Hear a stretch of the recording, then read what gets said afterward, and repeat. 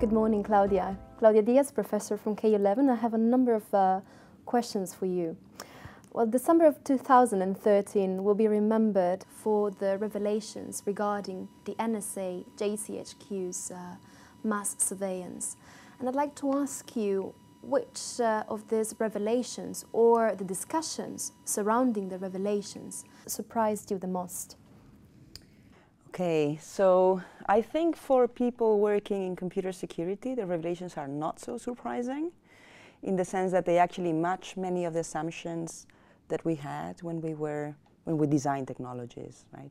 And what is very interesting for us is that the assumptions, the, the, the actually distrust assumptions under which we work when we develop technologies were harder to defend before the revelations because we look like we are too paranoid that you know we don't trust the institutions, we don't trust the um, the system.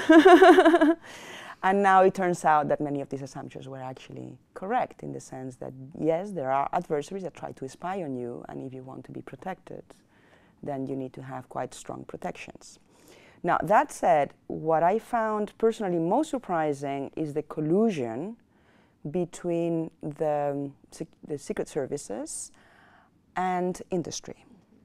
Um, in a number of ways. So particularly inserting backdoors into hardware and operating systems, I find that quite shocking.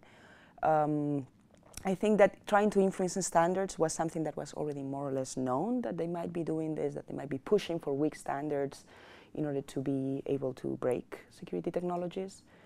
Uh, but yeah, I think for me it was the collusion, uh, both in PRISM, so to look into social networking data, into email data and so on, because I think these companies have a lot to lose somehow, uh, and many of them will lose a lot, especially cloud providers, international customers particularly, uh, might really regard them as not trustworthy.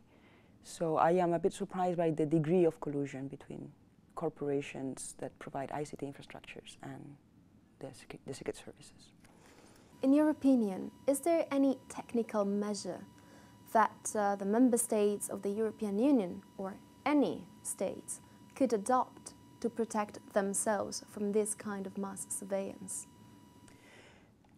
So, I guess one way of, of, of looking at what happened is to, to think of it as when we think of security and surveillance online, we can think both in terms of offense or defense, right?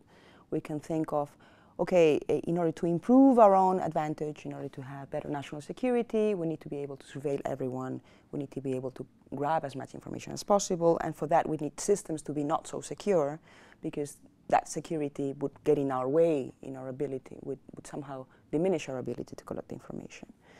Now, the other way of looking at it is that the way to improve national security is to actually invest in defense, invest in making systems more secure.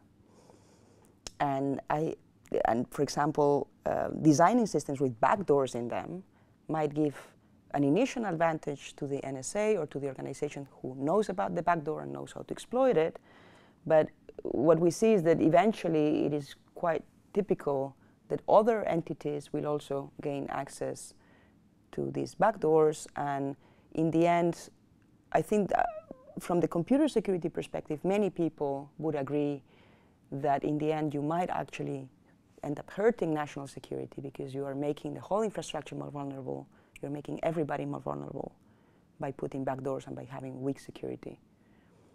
So I do think that we should invest more in, in defense. We should invest more in having technologies that are resistant to surveillance, that have strong protections, even if in some cases this may make law enforcement investigations more difficult or it might somehow undermine or yeah, in, increase the cost of, of, uh, of some of some part of the national security.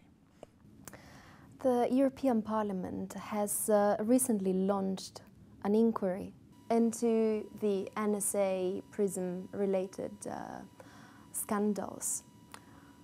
What do you think that the EP should look into, for instance, from a technical perspective? It's a difficult question.